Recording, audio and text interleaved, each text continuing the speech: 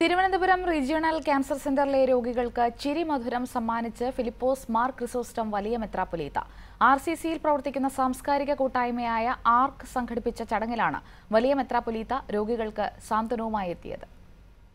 നൂറിന്റെ നിറവിലും ചിരിയുടെ വലിയ ഇടയന് ഭാവമാറ്റമില്ല.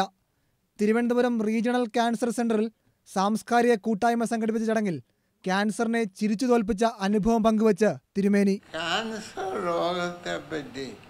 ഭയപ്പെടേണ്ട എന്നുള്ള അഭിപ്രായക്കാരനാണ് എനിക്ക് ഒരു പ്രാവശ്യം വന്നു ചികിത്സിച്ചു. പിന്നീട് ഞാൻ ആശുപത്രിയിൽ പോയിട്ടില്ല.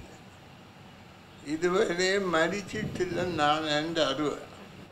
അധികവും ക്യാൻസർ എന്ന് പറയുമ്പോൾ കുഴിച്ചിടാനുള്ള ക്രമീകരണമാണ് ആശുപത്രി ചെറുപ്പകാലത്തെ അനുഭവങ്ങളിൽ തുടങ്ങി പ്രധാനമന്ത്രിയെ ചിരിപ്പിച്ച കഥ വരെ തിരുമേനി പങ്കുവച്ചു. ക്യാൻസർ രോഗത്തെ പ്രതിരോധിക്കാൻ ശക്തമായ ഇടപെടൽ വേണം. ഓരോ ഗ്രാമങ്ങളിലും ക്യാൻസർ നിർണയ സൗകര്യങ്ങളടക്കം ഒരുക്കാൻ ആർ സി സിക്ക് കഴിയണം. ക്യാൻസറിനോടൊരു പുതിയ മനോഭാവം മനുഷ്യൻ സൃഷ്ടിക്കണം.